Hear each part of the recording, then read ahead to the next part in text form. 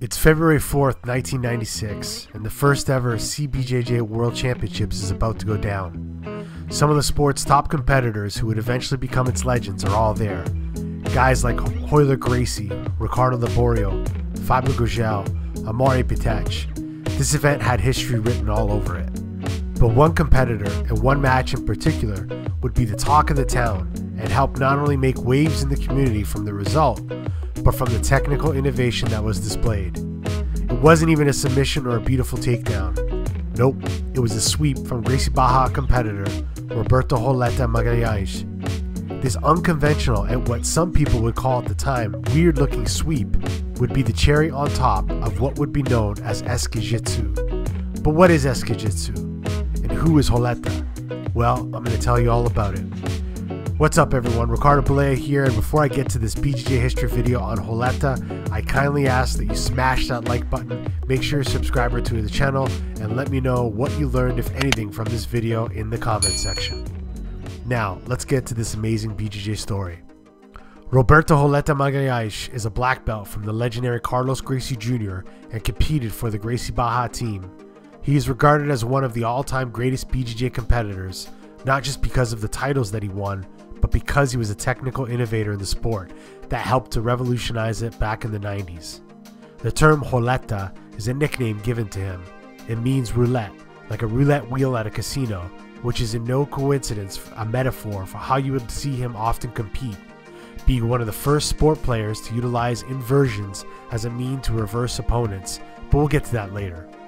Roleta's path to jiu-jitsu surprisingly began with traditional martial arts such as karate, but much like many others before and after, he made the switch to Jiu Jitsu in Brazil, once getting his first exposure to the art during his late teens.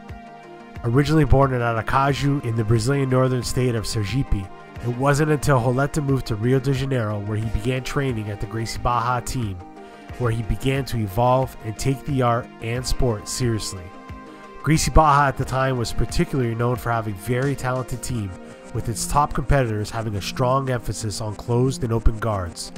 They had a who's who of top level guys and other innovators such as Renzo Gracie, Marcio Feitosa, Roberto Gordo, Nino Schembri, Vinicius Draculino, Mauricio Tangina, and many more. And it was in those training rooms and that environment where Roleta was able to fine tune his own game and style.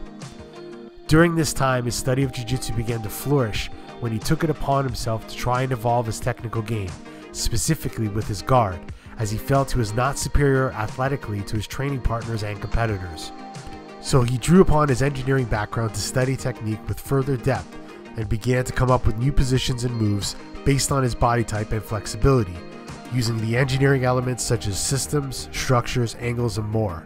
This new analytical approach to Jiu Jitsu allowed him to cultivate many new techniques, grips, and strategies that were not in the regular Jiu Jitsu Academy's curriculum, especially during this era. His style, specifically referring to his guard style, which he became most known for, was one of the first to utilize a more relaxed base and implementing modified grips on lapels while inverting his position from the bottom. He began to test his new style and techniques in competitions and made a name for himself as competitors simply found themselves unable to figure out this new jiu-jitsu game he was playing. So when they saw him compete, they would refer to his game as weird and his style would be given the nickname Esqui-Jitsu or weird jiu-jitsu. And in 1996, his weird jiu-jitsu style would be put to the ultimate test as he faced off against one of Carlson Gracie team's best top players, Walid Ismail.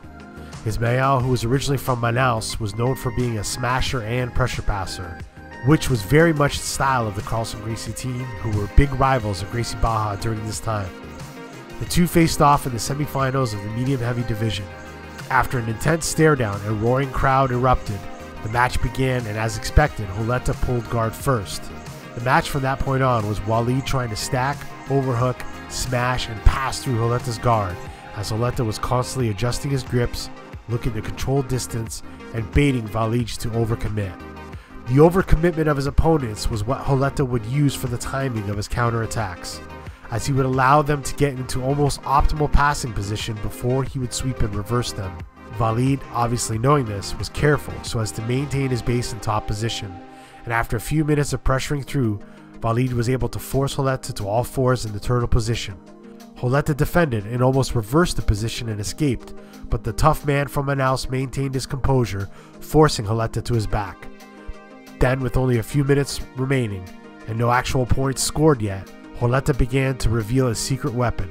He rolled over to his knees while maintaining his grips on Walid's pants, but this time had one of his legs in between Walid's and under his hips. This would be the crucial part of the lever and sweep. As Walid was still on top, Roleta inverted and raised up Walid using his legs and grips high in the air, sweeping him away. This gave enough room to not only get to Walid's back, but score by placing his hooks in, winning the match. Roleta later on moved to win the division, defeating another Carlson Gracie member, Bebeo Duarte, in the finals. But it was this later named helicopter sweep that would go down in history with his match in Walid in 96. The win over Ismail would be the birth of not only one of the most popular inverted sweeps ever, but also start the long career of Roleta, where he won four world championships as well as four Pan Am gold medals. The helicopter sweep was just one of Roleta's Esqui techniques, and his trend of surprising opponents using this new style would continue on as he repeated as world champion in 97, 98, 99, and 2000, defeating a who's who's list of legends such as Saulo Ribeiro, Mario Sperry, Murilo Bustamante, Amaury Bitetti, and Fernando Margarida.